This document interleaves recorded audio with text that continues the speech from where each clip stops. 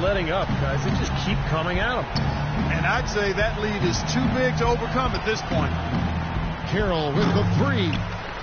Mozgov grabs the board. Well contested shot, and they did an excellent job of not fouling the shooter. Defense is about effort and commitment and discipline. He's a good defender because of those things.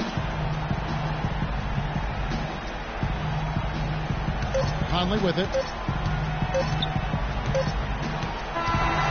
So it's Indiana picking up